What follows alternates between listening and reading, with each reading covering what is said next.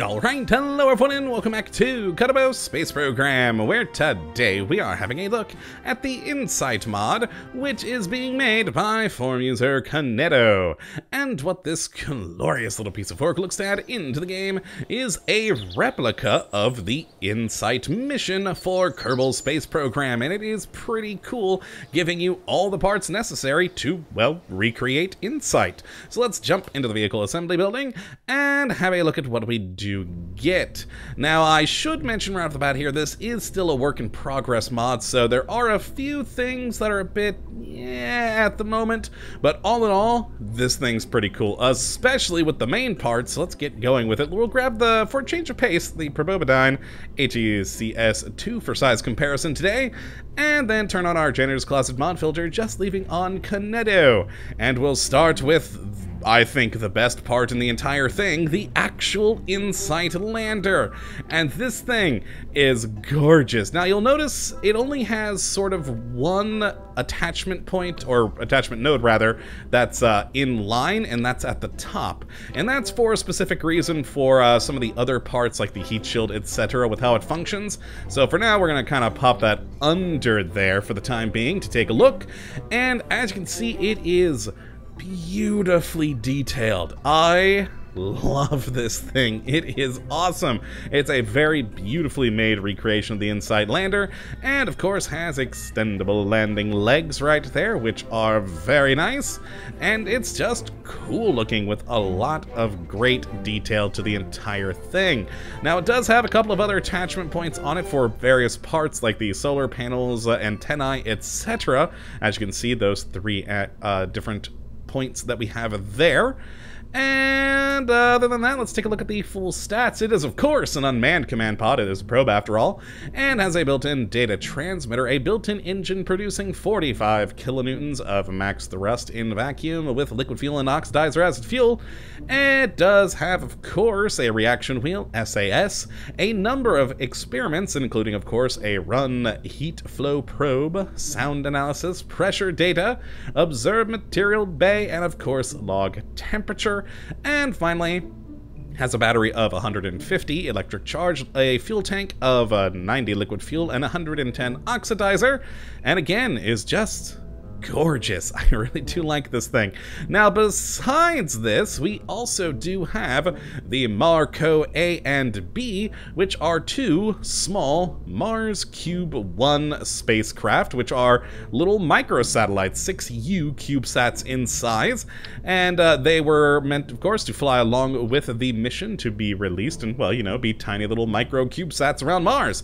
And we have uh, the both of them here. As you can see, very, very tiny little things, and uh, with a number of attachment points for their antennae and solar panels that we'll see later on. And they are just cool little microsats. I very much like these parts. Now, both of them have the same stats, being, of course, again, unmanned, with a data transmitter, a small little engine producing 3 kilonewtons of max thrust with liquid fuel and oxidizer, having a reaction wheel, SAS, 150 electric charge, 18 liquid fuel, and 22 oxidizer. Very, very cool little parts, but let's check those off. And you know what, we'll leave this on for now, but we'll flip it upside down and pop it on the top, and then uh, zoom out to take a look at our next parts in the fuel tanks category. And the first one we have here is the Insight Lower Stage, which is the first part on here that, you know, like I just said moments ago, this is work in progress, and this has a thing I really hope gets um, adjusted moving forward. As you can see, this very large fuel tank has a built-in particle effect to, you know, sort of mimic the cryo engine sort of status, etc. of, you know, the release of gases. And we have looked at mods in the past that actually create this effect, and I very much like them. But here's the problem with this one. You can't toggle it it's just always on, and is quite opaque and large. If it was a bit less dense and could be toggled, I'd actually love this. But how it is right now, I really hope it does change. But again, this is work in progress, so hopefully this does get adjusted, and it is included in a few other parts as well, and kind of just makes it, look a bit odd when it's on the launch pad, and since it is always on, it's even going when you're launching into space. It's harder to see but it is still noticeable. But besides that, this fuel tank is freaking awesome, as it's not just a fuel tank, oh god, click and stay with the stats, there we go. It has a built-in solid rocket boosters to help move it away from the rest of the rocket when you do release it, and they'll produce 90 kilonewtons of thrust. It also has a built-in reaction wheel, and holds 3,240 liquid fuel and 3,960 oxidizer, and 7 solid fuel for those little solid rocket boosters. So it's a very cool and useful fuel tank I just hope that this uh, particle effect gets adjusted a bit. Now, the next fuel tank that we have is the Insight Upper Stage. If we pop that on there, of course, this one being a lot smaller, but has all the cool insignia for the Insight mission. And this one, again, has a reaction wheel on board with liquid fuel of 1,440 and oxidizer of 1,760. Now, let's uh, zoom in a bit here and move on to the next category of engines, where the first one we have is the Insight Cruise engine. This one, of course, sort of going along with the top stage of the Insight Lander. We'll pop it on here, though. And, ooh, kind of kind of floats a bit in there. Never mind, let's hold on, pop that off. It'll be easier to see it right there, kind of ish. Again, it kind of fits with the other parts it's meant to go with, so it's kind of fitting a bit awkwardly here. Yes, there we go. Upside down works better. But again, very nicely detailed, kind of nice and shiny, has a lot of good bits and bobs to it. And as for its stats, it has a built-in alternator producing electric charge, and has an engine producing 70 kilonewtons of thrust in vacuum, using monopropellant, and a gimbling range of 2 degrees. Very, very nice, cool little engine. Now, the next one we have is a bit larger, uh, as it does go, of course, with the the main fuel tank, and this is the lower stage engine, the RD-180, and this one has that uh, particle effect again that you cannot toggle, and this uh, again has an alternator built in, produces 1,500 kilonewtons of max thrust in vacuum, with an ISP max of 310, liquid fuel and oxidizer, and has a vectoring range of 2 degrees. Very nice, good details to it, all in all, cool engine. Now the next one we have is the upper stage engine, the LR10A42, which this one a lot, a lot smaller, again has that particle effect. Uh, nice small little engine, good detailing to it if you can, you know, see it through the haze.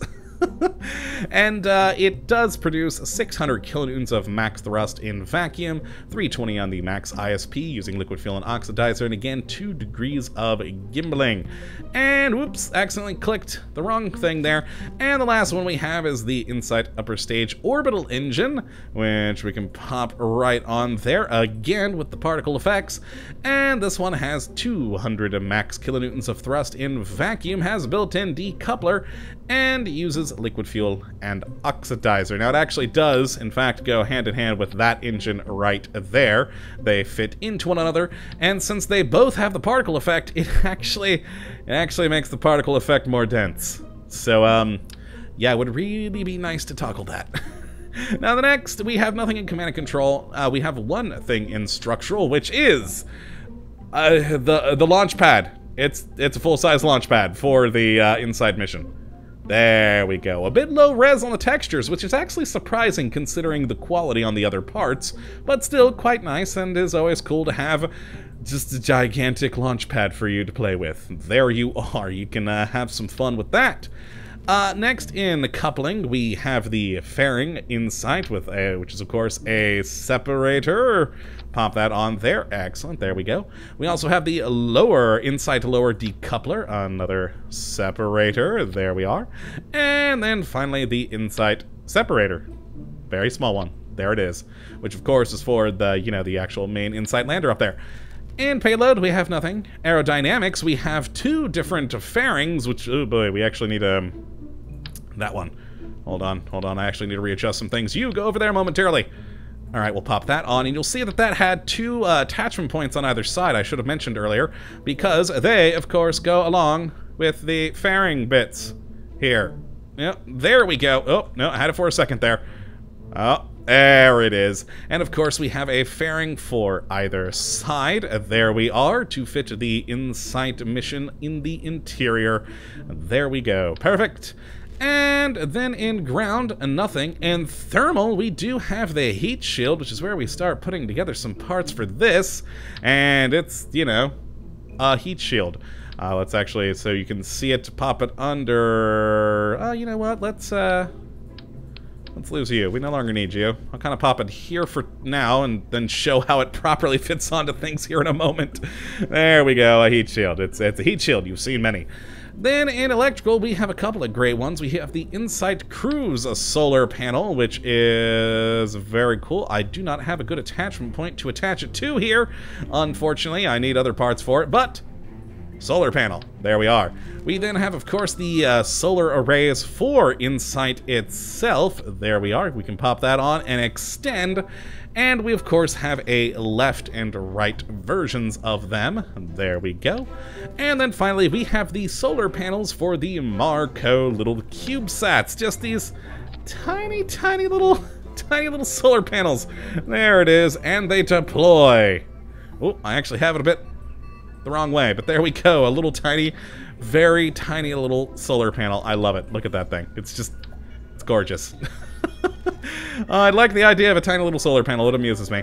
And then we have the Insight UHF antenna. Of course, we move on to communications. This, of course, fitting into the Insight lander. If we flip it around, right there, that's where it goes. And then we have the Marco antennae, which, if we kind of move it around a bit, there we go. Goes on to, of course, the Marco CubeSats. Perfect. And then in science, we have nothing because, of course, all the sciencey bits are in the lander itself. And then in utility, we have the uh, the cruise parachute for the Insight lander and the Insight cruise sort of encapsulated bit. So if we actually create a new ship real quick, just to grab the Insight lander, the uh, Insight cruise is what, if, oh boy, zoom out and flip this baby around, it goes onto that top attachment point on the Insight lander. The parachute then goes and attaches there, and that heat shield we had from earlier then, of course, attaches to the lower node that gets extended out from that cruise capsule. And there we go, that's the actual proper little Insight uh, capsule for the mission. Very fun. Now let's actually head out into the world and take a look at the Insight lander in all of its glory, just so you guys can get a good look at it, and then we'll take a look at the Insight rocket, which thankfully the mod maker does include a craft file on the uh, page for the mod.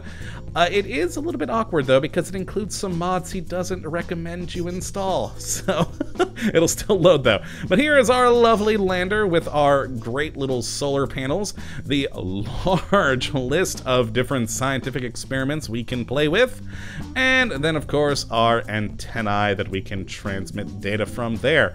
It is just such a cool little lander. I very much do like this thing. It's just gorgeously built with a lot of great details. How could you not love this thing? But yes, that is the lander. Let's actually go and take a look at the rocket. Not really much to stare at with that. And let's load up of course, the Insight mission. Yes, I know it has mods that I was not told to download, but yes, there it is in all of its glory. Attached, of course, to the giant launch pad. So let's go to launch, and you'll notice if we launch right away, we'll be fine, but if we actually let it sit for a second on the launch pad, it starts getting a little wobbly. Now, once you actually do launch, the wobble leaves very quickly, so it, it's not too bad, but it is noticeable. It actually doesn't seem to be happening now. Hmm. Just my luck, of course, when I record, the thing that I noticed several times before it doesn't happen. But that's a good thing! Maybe it was just some random fluke. But there is... Oh, the oddity with that particle effect. I really wish I could toggle those. And hopefully, again, this is work in progress, so hopefully perhaps that'll get toggleable in the future. But let's actually go and launch this thing in 3, 2, 1, lift off! Ooh, there's some wobble. Some wobble on release. But uh, not too bad, though. Not too bad, honestly. Easily recoverable. And there is our beautiful rocket sailing away. Now, I am actually going to cut, well, we'll let it burn for a little bit longer so we get a bit more height, because, well, I'm going to cut the engine a bit short, and so we can see the different stages. So let us cut the engine and watch the this little bit in here for when we get the little solid rocket booster fires to help it clear away. There we go. Fire our engines here, which this engine, not very powerful. That's just the two engines on this uh, upper stage. But if we activate then that central engine with them, we actually get a fair bit more power and we'll stop falling down to our death and actually start going back up in the world again, which is always good. Now, uh, the next stage, of course, releases the fairings. There we are. They, of course, did have a little built-in uh, things, too, to launch them off. And we have our beautiful full lander system. You can actually see those uh, solar panels a bit better now that I couldn't attach earlier because, well, now they're attached properly. So we do have those. Not getting anything at the moment because they are, of course, facing down. But let's cut those engines. Release again. Oh, no. There we go. That's what I meant to do. Probably should have turned those engines all the way down. There we are. We then have sort of our uh, main sort of uh, cruise stage here. Very fun. We can, of course, then launch that. Ooh, explosions. Let's actually flip this baby around a bit. Drop the parachute for reasons. Then the heat shield, and of course the engines on the Insight lander. And there we go! Those are all the bits and bobs of Insight, and if you did the mission properly, well, then, you know, you'd have a good time. It actually works out all quite nicely, but we, of course, did do it in a very weird order. But it works! So that is the Insight mod. If you'd like to check it out for yourself, which I would certainly recommend you go and do, you can have a look at the link in the description as per usual. But that, my friends, is going to be it for this episode. I hope you all have enjoyed and that you do come back for the next episode when, uh, hopefully, we'll be looking at yet another wonderful mod. But until that time, thank you for watching, and as always, have a good one! Oh, I broke one of my two solar panels. Oh well. Later, folks!